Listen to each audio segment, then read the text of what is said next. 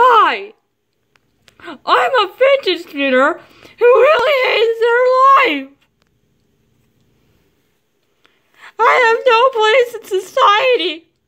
God help me! Ah! You know what? I know exactly how I'm going to solve this problem.